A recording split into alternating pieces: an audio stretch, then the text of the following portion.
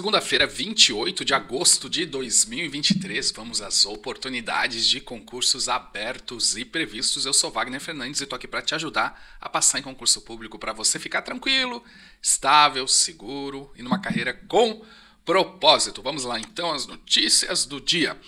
Bom, como sempre eu vou começar com as notícias do dia e depois a gente vai falando sobre os concursos populares por área. Tem área fiscal, área de tribunais, área do Executivo Federal, tem muita coisa aí, muita novidade. Bom, IFSUL de Minas Uh, publicou edital com cinco vagas para nível médio e técnico.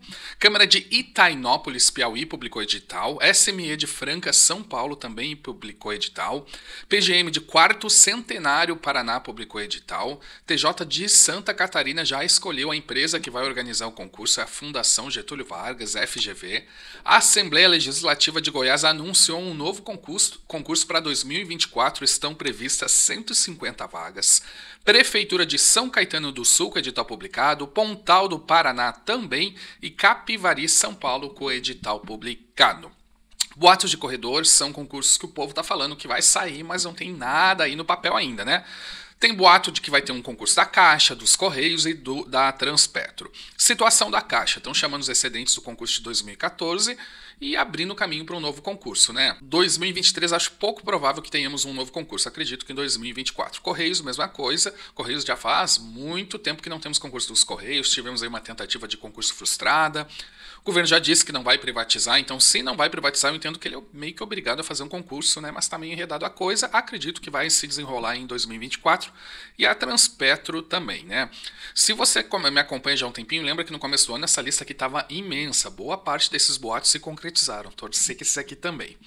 Na parte de concurso popular, a gente tem o o IBGE, né, para o censo, concurso temporário, e temos o MEC aqui, efetivos 220 vagas inscrições até hoje. Então corre lá. Com banca escolhida, tem empresa organizando o concurso. E, bom, antes de começar aqui com os populares, que os populares está entrando aqui todo o executivo federal, basicamente. A gente tem aí, eu fiz um vídeo hoje sobre o tal de concurso unificado e uma pergunta que me fizeram se esses aqui que já estão com banca escolhida se vão entrar neste concurso unificado. Eu entendo que se sair esse concurso unificado, dificilmente eles vão entrar, mas eu não tenho bola de cristal, né? Então, CNPq, FNDE e Ministério de Minas e Energias, que já está com a banca escolhida Sebrasp, eu entendo que não vai entrar. Agora, se sair unificado, um que está muito claro que vai entrar é o fiscal do trabalho, porque está quase em letras garrafais lá no projeto, né? Então, são 900 vagas, o bom é que vai sair o concurso, né?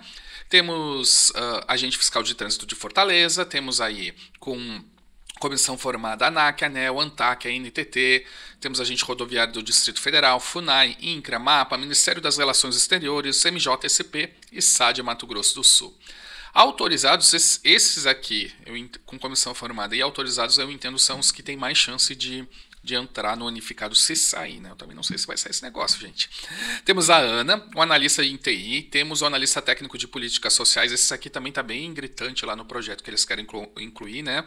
As agências, uh, dependeria da agência pedir para entrar no projeto, temos a Anatel, Agência Nacional de Recursos Minerais, ANS, Anvisa, Banco Central, BNDES, CAP, CVM, DENIT, EPPGG, Fiocruz, IBGE, ICMBio, INEP, Metro, IMET, INPI, IPEA, Ministério da Indústria e Comércio, Ministério da Saúde, Ministério de Minas e Energia, Ministério do Meio Ambiente, Ministério do Planejamento e Petrobras aqui, que é uma estatal, mas está aqui no meio, né? Solicitados, não tem ainda nem autorização, né? Temos Ancine, Biblioteca Nacional, Senzipan, Senem, IBAMA, IBRAM e INSS.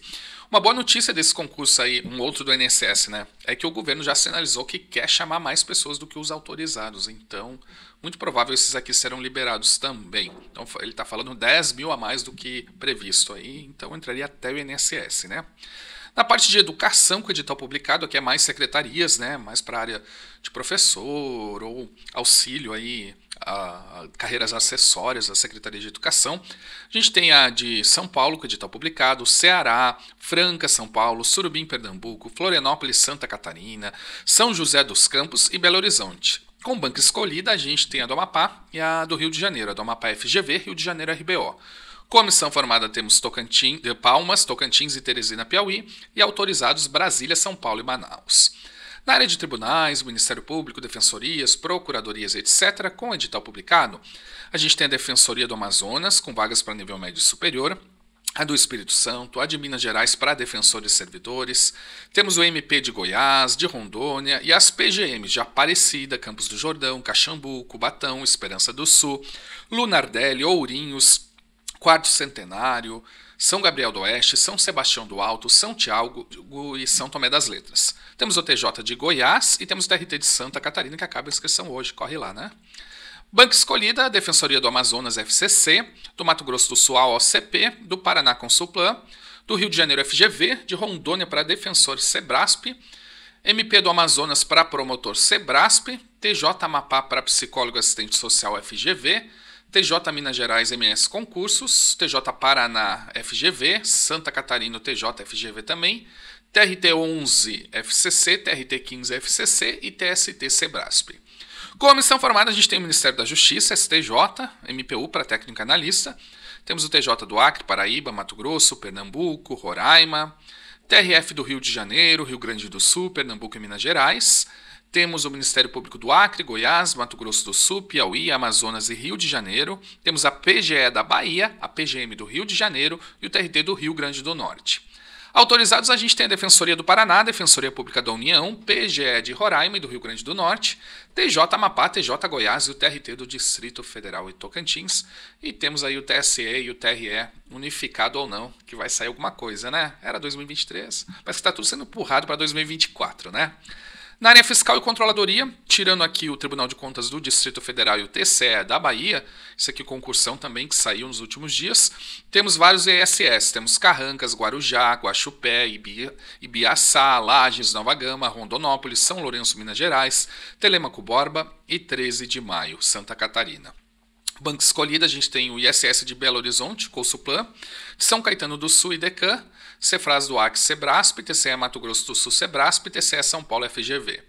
Comissão formada temos CGE Roraima, CGE Rio de Janeiro, CGM Ceará, Cefaz Mato Grosso do Sul, Paraná e Mato Grosso, TCE Paraná e Espírito Santo.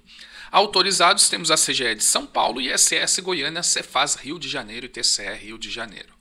Na parte do legislativo, com o edital publicado, a gente tem a Câmara dos Deputados. Hoje é o primeiro dia de inscrição, então começa lá já a pensar nele. Temos a Assembleia Legislativa de Roraima, com banco escolhido, é a VUNESP. Com comissão formada, a gente tem as Assembleias do Espírito Santo, Rio Grande do Sul, Tocantins e Santa Catarina. E autorizado temos Goiás, Pernambuco, Rondônia e Paraná. Na área policial e militar, com o edital publicado, a gente tem Bombeiros da Paraíba, PM da Paraíba e Polícia Penal de São Paulo, que está cancelado temporariamente, né? mas eu acho que logo logo sai. Banca escolhida temos Bombeiros Amapá, Santa Catarina, Polícia Civil. Oh, vamos ver a banca, né?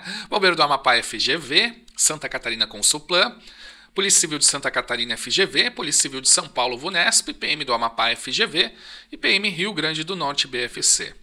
Com comissão formada, a gente tem Bombeiro Pernambuco, Brigada Militar do Rio Grande do Sul, IGP do Rio Grande do Sul, Polícia Civis do Tocantins, Pernambuco, Piauí, PM do Espírito Santo, Tocantins, Roraima, Pernambuco e Paraíba, e as polícias penais da Bahia, Tocantins e Rio Grande do Norte.